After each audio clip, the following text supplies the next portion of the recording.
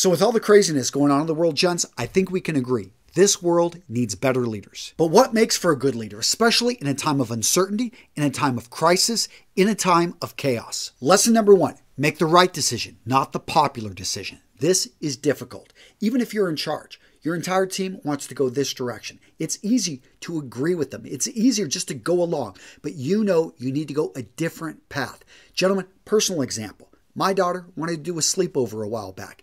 I am against this. My wife is for it. They're family friends. She doesn't feel there's any risk of the virus and all that stuff. I am going to be the bad guy here. And I'm saying no, I'm putting my foot down because I feel there's an invisible enemy out there. I know that this is the right decision to err on the side of caution. And you've got to make difficult decisions like that all the time, especially in your business where the work's already done. They've set it up. So it's going to be an easy decision, but you know you've got to take it in this other path and it's going to require people to redo work. People are going to be upset. But if you know it's the right decision, gentlemen, you've got to do it. Lesson number two lead by example. I learned as a young second lieutenant in the United States Marine Corps, you never ask anything of anyone that you wouldn't do yourself. So, you want people to work on Sundays? Guess what? You should be the first man there. You should be there making coffee for those guys on the floor. Yeah, you're going to be up in the office managing. That's your job. That's what you got to get done. But if you need to get production up, if you need to make the turnaround in the company, then you need to be the person leading from the front, not in the back telling people what just to do. Lesson number three a good leader genuinely cares about his people. I've seen so many bad managers out there, they don't give all they care about is profit and the numbers, and those are important, but not at the expense of your people. You need to know your people. If you manage one person, you manage five people, you manage 25, you manage 25,000. I'm not saying you got to know everyone's name at that level, but you should know what's going on. You should have systems in place so that you realize your people are your greatest asset. And I know for me, you know, I know a lot about my people. I, I, it's something that I set up time to be able to get to know them, to know what their pains are, to understand what their real needs are, what their real concerns are, how I can help to alleviate some of their worries so that they can do a better job. A good manager understands, again, his people are his greatest resource. The next tip to lead in a time of chaos is to bring order to disorder. What am I talking about here? A good manager gets everyone in the boat rowing in the same direction. Because, guys, it is so easy for our people to get distracted. You may just manage three people, but what you may find is they each have three different, very different priorities, and they don't understand where they fit into the big picture. So imagine if you're managing 30 or 300. Guys, that's when it gets really bad. And all of a sudden, you're wasting effort, you are wasting energy. And in a time of crisis, you need people to be focused in on a laser, on the number one project that's going to bring the company in money, that's going to turn the company around. And that's what a good manager does. He gets everyone rowing in the same direction. Now, this next tip to lead through uncertainty isn't really talked about, but I think it's critically important. And that is to have peers, to have companions, because leadership is incredibly lonely. Many of you guys know what I'm talking about. You have your own business and you can't talk to anybody. You can't talk to your spouse about this, can't talk to your employees. They don't want to hear you complain.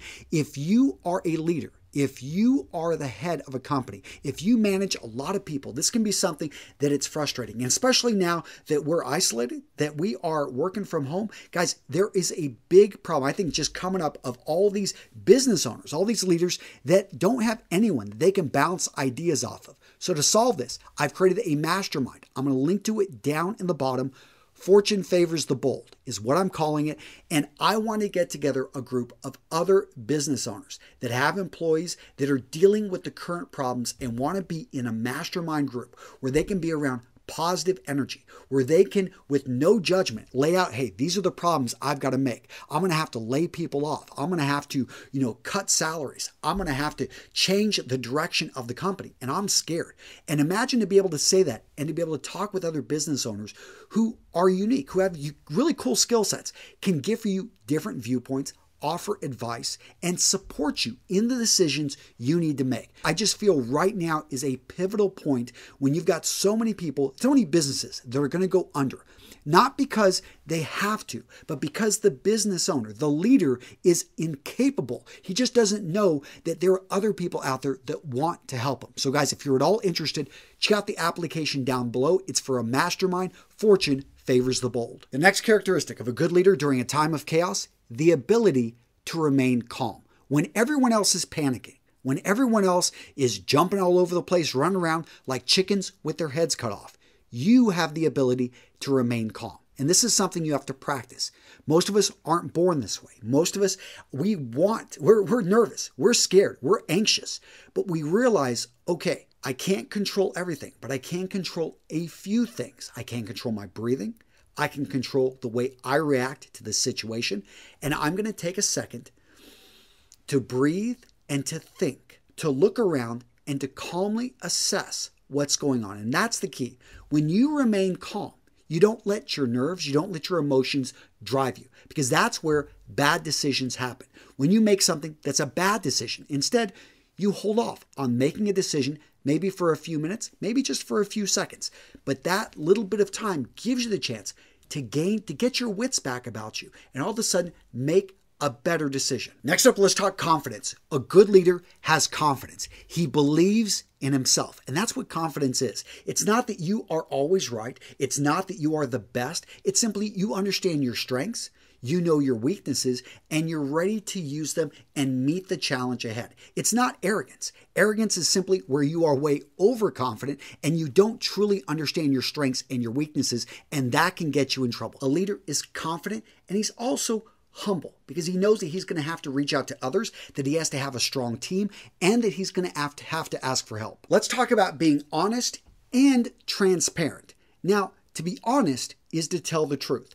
Very important as a leader that you don't lie. You don't have a good enough memory, and eventually people are going to catch you, and then it's going to undermine all of your credibility. But you're also transparent, meaning that you tell the whole truth. Because there are ways to simply tell one thing that is true, but to omit things, to leave things out. No, you want to be transparent. If you think other people can use this information, you want to make it readily available even if, in a way, it kind of makes you look not as infallible as you would like. We all would like to look perfect, but here's the thing is a confident, a strong leader, especially in crisis, makes the information, he makes it known so that everyone out there is able to see what's on the table and they're able to see, hey, he's a human being as well. He makes mistakes, but he quickly corrects and fixes himself. Now, this next one is really important, and a good leader manages expectation. It's human nature that we want a quick fix for things. We want it to be over. We want to move on. We want things to have a quick conclusion, especially when they're painful, when they're going to hurt.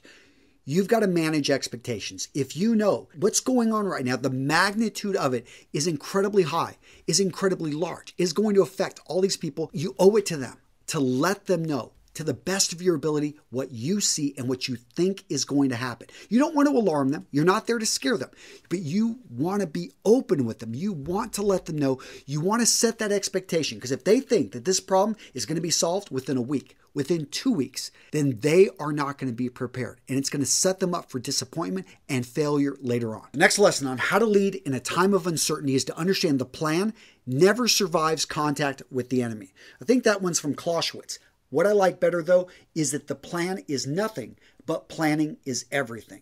So as we were gearing up with 3rd Battalion 1st Marines to go into Iraq, that was something that was said again and again. And I saw this in action whenever we were going through Nasiriyah. And I can tell you everything fell apart that we had planned. But guess what? We had gone through that plan over a hundred times. We knew exactly how much fuel, how much ammunition, where we needed to be. We had maps of everything, and we were able to quickly build out a new plan within minutes so that we were able to adapt to the situation. So many business leaders, they get stuck in on their systems, on the way things should work in their models. They, the way guys, you got to understand that the real world is not something that can be modeled. And your ability to be able to meet with you know an obstacle with a problem and then to be able to find a way out of it. That is what makes you uniquely human and you need to leverage that as a great leader so that you can overcome situations which you couldn't have expected. But as a human being you can find a way to overcome. Next up gents surround yourself with competent people. The best people you can have on your team this is key this is critical.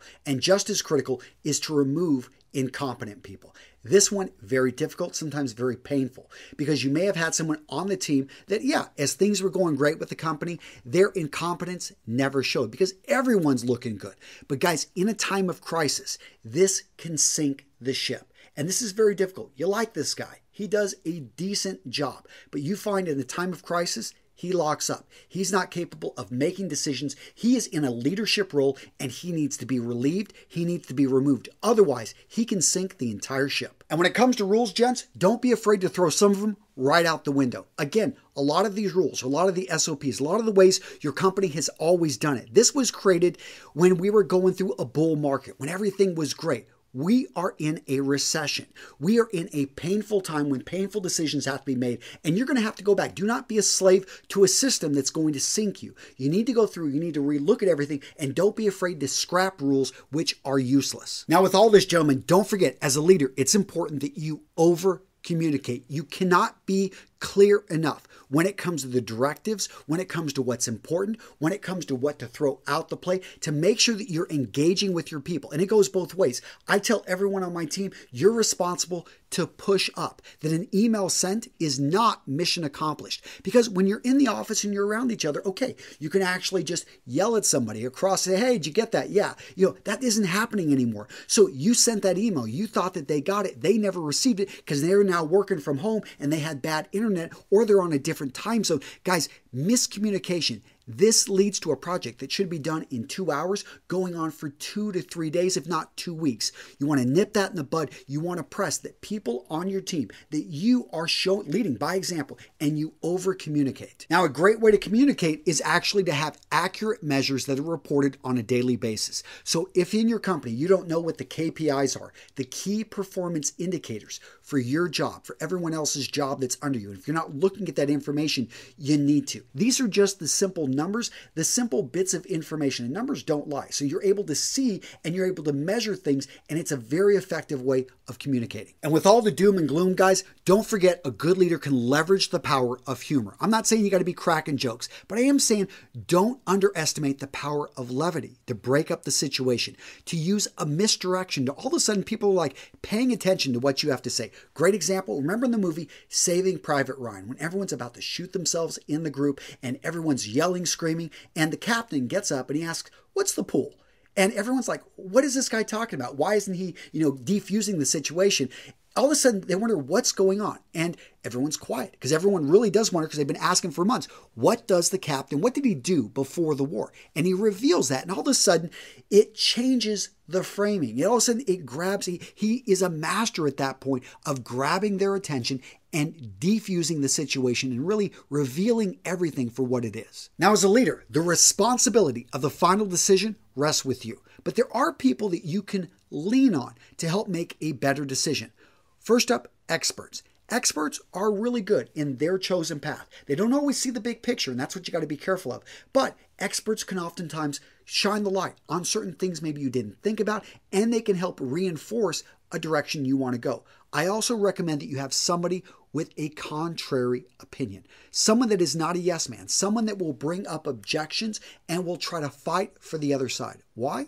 Because you want this stuff brought up to you before you make the decision, and then you find out, oh, I wish we would have thought of that. I wish we would have thought of that. That is their job to go through and to find all the reasons why your decision is wrong. Now, this next saying, one of my favorites, and that is fortune favors the bold. Third Marines, you know what I'm talking about. Guys, we are in a situation in which fear, chaos, uncertainty is in abundance. And guess what? It is shrinking people's minds and their viewpoints. They are focused on what's in front of them and they are worried. They're scared. And this right here is preventing them from taking risk. Now, we take risks all the time in business, but at this point, a lot of business owners, their minds have shrank and they've reduced the risks they're taking. And as such, they're not going to be able to get out of the situation because they're just simply chasing their tail and their circle. They don't realize that if they just looked up and they went in this direction, they could get off of the hot plate, that they could get out of the current situation they're in. And that's what you need to do. You need to have the courage to take risk. Yes, that everything seems like it's chaotic and risky right now.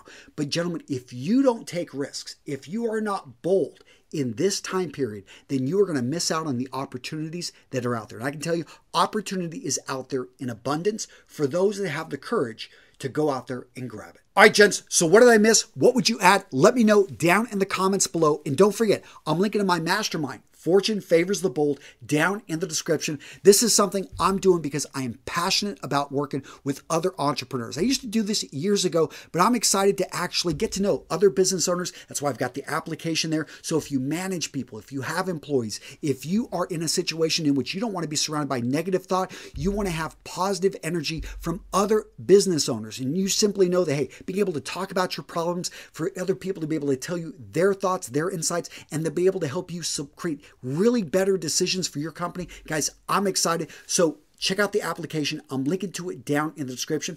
That's it, guys. Take care. And if you want another video, I've got you covered right here. And in fact, I don't even know. No, of course I know. This is a good video right here. Go check it out. I had a lot of fun with it, talking about the importance of routines. You should have one.